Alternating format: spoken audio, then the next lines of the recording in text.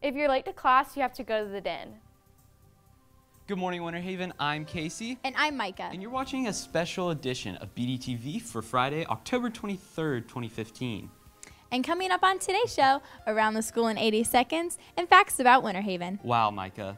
Wow. Word of the week. And who's doing the word of the week? Miss Williams, of course.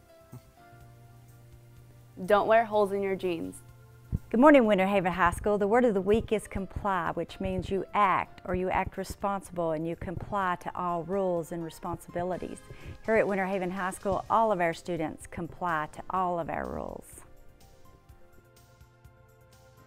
No hats are allowed to be worn at school. Me, at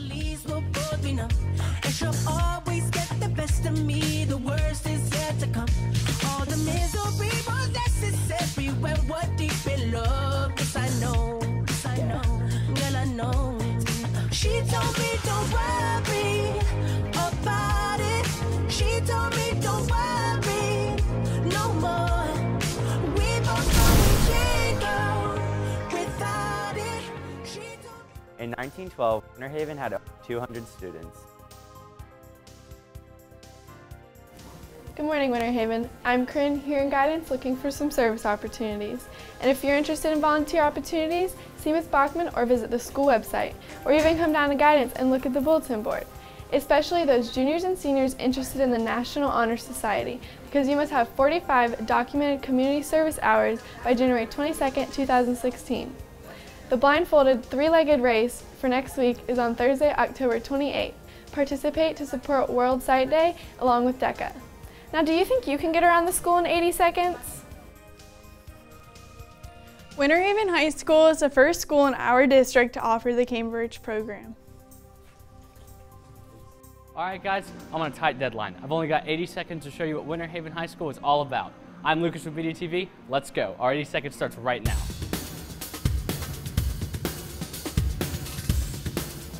I'm here in the gym where we have some pretty awesome sports teams, like basketball, volleyball, and wrestling. But that's not all. Outside, we got football, baseball, softball, boys and girls soccer, boys and girls golf, boys and girls swimming. And if sports aren't your thing, we have some amazing performing arts, like drama, band, orchestra, and chorus. Here at Winter Haven, we also have some amazing clubs, like HOSA, AOHT, The Trident, FFA, Junior Chef Club, Key Club, FCCLA, BDTV. And in BDTV, we can do some pretty cool things, like I can be in Student Council, FBLA, NHS.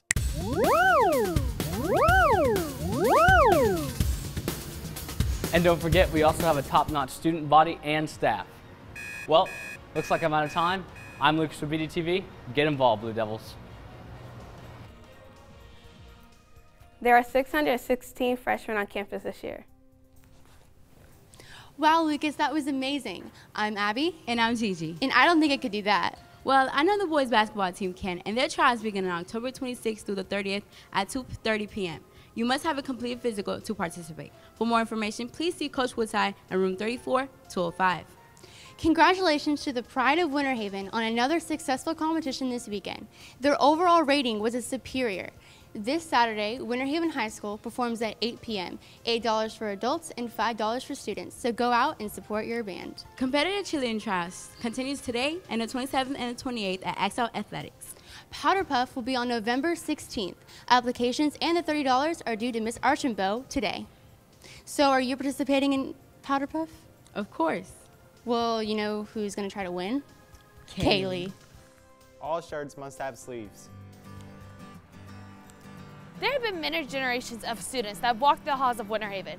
You would think that we would know everything about this school and what it has to offer. I'm here to tell you a few things that you probably don't know about our awesome school. What year was Winter Haven found? 1920. 1930. 1738. Uh, 1886. Winter Haven High School was opened in 1886 on the second floor of Boyd's Hall, currently where City Hall stands. Here, where Winter Haven Post Office currently stands, is where Winter Haven High School moved in 1890. In 1922, Winter Haven expanded to where Denison Middle School is now. What year was Winter Haven built here on 6th Street? Oh, um, 1842. 1948. 1826. 1955. When Winter Haven moved here to 6th Street, a major expansion happened. New administrative offices, music building, and a gym was added. In 2009, an estimated $24 million was spent to build a total of four new buildings, including a freshman academy, a medical academy, a culinary academy, and a fashion academy. While you walk the halls of Winter for the next few years, or if you're a senior the next few months, take a look around. There's a lot of history here. I'm Kaylee BDTV. Stay informed. The class of 1925 had 47 seniors. Thanks, Kaylee. Those were some pretty interesting facts. Another interesting fact is that United Way is accepting donations now. Please bring all donations to Miss Northern by October 29th. And while you're in the giving spirit, Operation Christmas Child has been extended through this week, so please donate. I'm going to get back to studying, and you try to figure out Amanda's SAT question. In 1917, Winter Haven High School had six teachers and a principal. I hope you have been studying, Chase, because today's SAT question is pretty hard. A special lottery is being held to determine which student will stay in the only deluxe room in a dormitory. There are 100 senior names entered, 150 junior names, and 200 sophomore names. Each senior's name will be entered three times, each junior's name twice, and each sophomore's name once. What is the probability that a senior's name will be drawn? Oh, I get it now.